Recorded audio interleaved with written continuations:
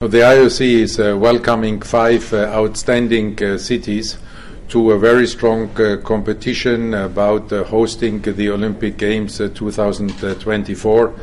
And these uh, five uh, cities are uh, Budapest, Hungary, Hamburg, Germany, Los Angeles, United States of America, Paris, France, and Rome, Italy.